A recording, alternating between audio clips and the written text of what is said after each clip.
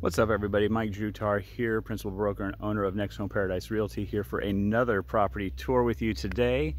I have a really, really interesting offering. This is one of our listings. It's listed by Tanya Power in our office.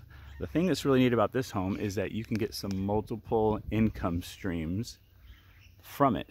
And the current owner is due, and they're doing quite well with it. We are listed at 1.15 House has 1,840 square feet, plus some additional converted area that's not reflected in the square footage. And it's an excellent property, good sized lot. Taking a little tour here of the backyard. See we got that wonderful tropical environment that you're always looking for. Plenty of space. We got some citrus trees here. Flowering trees hibiscus,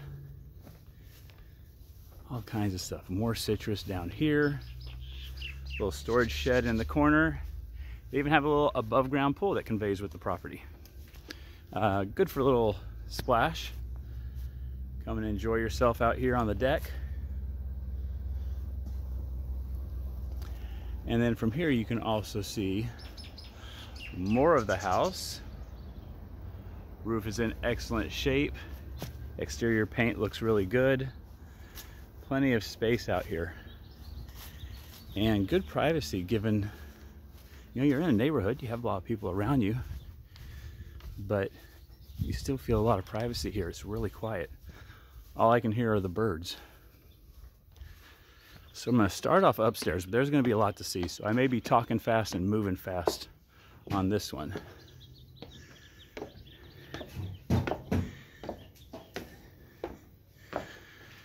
So looking out, there's the street that you come in. We're at the end of a cul-de-sac, so nice and private. And you even have some ocean view from here. You could probably bring down these areca palms a little bit and open that up just a touch more. Another beautiful day here in Paradise. We have a good sized covered lanai out here with a natural stone tile flooring plenty of room for a table and chairs. Really important to have a lanai that's covered, especially when you're facing west. That afternoon sun will come uh, up for a while and it'll heat up the lanai in the entire house. But if you have it covered like this, you're in pretty good shape. You got a walkway that continues along. You see we got a ceiling fan up here for additional comfort. And starting off here in the main level of the house, see we have bamboo flooring, They did a nice job with some of the wood accents. I noticed the rail right here as the staircase goes down, having that, that nice wood trim looks really good, matches the window frame on the other side. Good vaulted ceiling, so you have plenty of space up here. Two gorgeous ceiling fans, open living concept, living room, dining room, kitchen, all together. We're gonna get to that in a second. I'm gonna spin around real quick and come over to our first bedroom.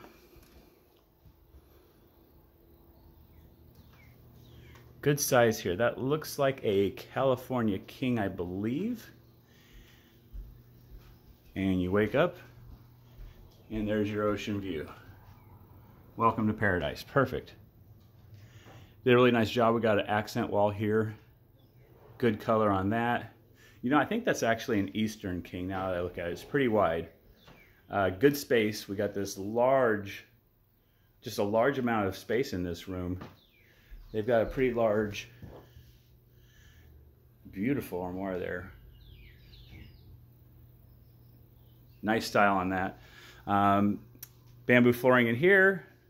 Nice wood trim baseboards coming into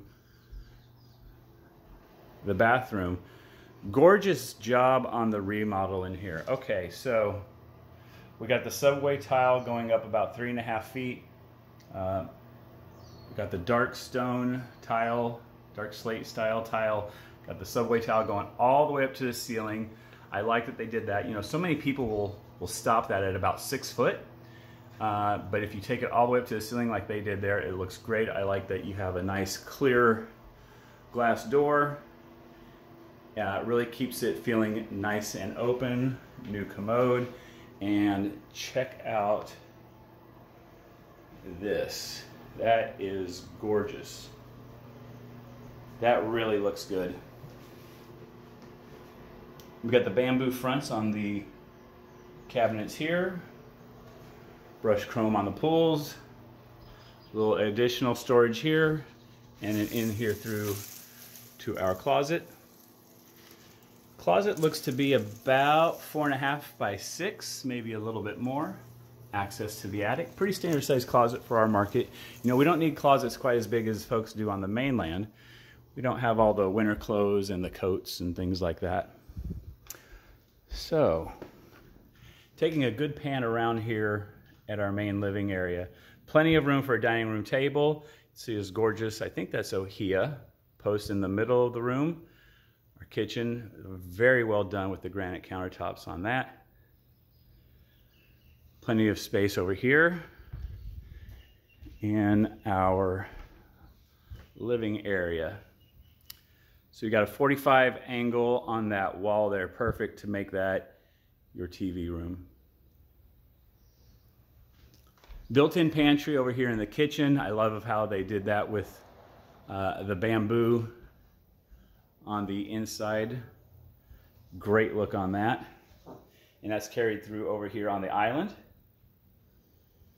And then this beautiful jade sort of color on the countertops. There's actually a little more green than is coming out on the camera. As I'm looking at the camera, I can see there's some green, but a lot of pink. There is about half that much pink. It's much more green. It's not brighter green, it's just more green. And then over on this piece as well. So, see we got Frigidaire on the stove, Whirlpool on the microwave, and large French door, freezer drawer, Frigidaire, stainless steel, refrigerator. Plenty of space here and a little view out to your garden area out there. I would have that all set up as just garden planter uh, stuff. Have some herbs and spices in there. And then with your island back out, you got lots of windows facing the west. Um, camera's not pulling it in, but you got plenty of ocean view from there. Continuing on to our next bedroom. Love the farm style door. Is it farm style or barn door? Is it a barn door? Let me know in the comments below. I'm not, I get confused. I can't remember if it's a barn door or the other one. Nice job on this bathroom remodel as well. Again, they did the subway tile and then they brought it all the way up. I like it. Good job on that. The same tile on the flooring that we saw in the other bathroom. Coming around the corner, Nice light little room here. I like the blue accent wall they did on the other side. They put a little day bed here, but you could fit a queen size bed in here, no problem at all. Uh, big views out to the ocean. You can see them through your slider. So both bedrooms have their own slider out to the lanai. That's pretty nice. And then this looks out to the property where we had all our citrus trees. And then we got a little bit of storage here in the closet. This is a very large closet. You could do much, much more here. This closet is big enough that you could put, you know, a dresser in here, keep it out of the bedroom, and keep your bedroom looking a little bit more minimalist and modern, and have a little bit more space. That's what I would do with it. Um, give you just a little bit more space there in the bedroom. Okay, so this is the top level. I told you there's multiple income streams that you could do with this property. Here's a second staircase entry. Oh, I think I disturbed the neighbor's dog. And then coming down the staircase. So this is pretty common here in Hawaii. We will have a living area upstairs and a totally separate area downstairs. And because we have so much slope here on the Big Island, it gives you a lot of possibilities. So here's what you can do. You can make that a double deadbolt lock solid core door. You could change it out. And now your downstairs is completely separate from your upstairs. Or if you want, you got a big family, you want to keep it all connected, there you go. You could even remove that door entirely if you wanted to. But you have some options, you got some flexibility. So a lot of people will turn this in to a long-term rental. Some people will even turn it into a short-term vacation rental. Um, now, it has to be owner occupied, owner on site to be a short-term vacation rental. It has to be what we call, by Hawaii County Code, a hosted rental. You can't just put this on Airbnb and go live in Las Vegas and think it's all going to be fine. This would not qualify for that. So you have a little studio down here. Nice. In our market as a long-term rental. Now, I know we got folks from all over the country. Love you guys. Click subscribe. Tell me where you're from in the comments below. But I know that some folks from some parts of the country are going to be a little bit shocked at what I'm going to tell you.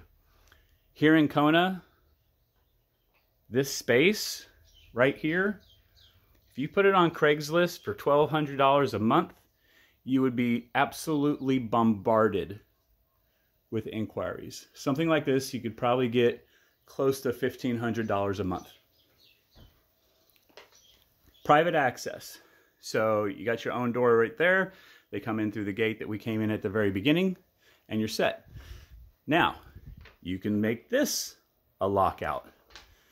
You could make a lockout over here. There's just so much that you could do here. And then we have an additional little area. Sink, little mini fridge. So this is a smaller little rental spot. You could still do something with this. Believe it or not, this is an income stream if you want. Okay, so pretty good so far, I think, don't you? Now there's more. This is what's going to be pretty surprising to you.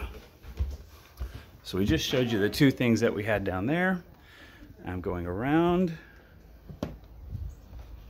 coming down the stairs, an additional walkway check it out.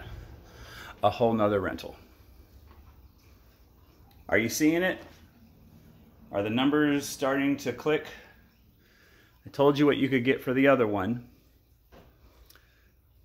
The next little studio, you could combine it and get 2000 a month off the bottom. If you combine those two that I showed you, you can keep them separate. 1200 and 800, pretty easy. And then you have this whole unit as well. So it just goes on. The thing that's really cool about this unit is that with its separate bedroom and a separate living space with a kitchenette, this would probably be 15 plus. So to be in compliance with the county code, you cannot have a stove technically you can't have a cooking surface, including a microwave or a hot plate. Sometimes tenants, though, they come back and they add a microwave or a hot plate, even though the owner, like in this case, did not put it in. So we have three income streams possibly down below. It's probably easier to do two. And then you could live up top. And as you're doing the math, you can see, okay, my mortgage is almost paid. I mean, that's just a big chunk of your mortgage. So at today's interest rates, every time you borrow $100,000, you're paying about 450 bucks a month. Now that can change depending on when you're watching this video and what the interest rates are at that time. But that allows you to do some math backwards. So if every $100,000 you borrow will cost you $450 a month, every $450 a month in rent that you're collecting eats up $100,000 borrowing cost of your mortgage. And that's where it really starts making sense. Okay, guys, I hope you liked it. If you have any questions, let me know. Leave them in the comments below. Please click subscribe. That is the biggest thing you could do to help me out and support me. Truly appreciate it. I wish you all an amazing day filled with aloha.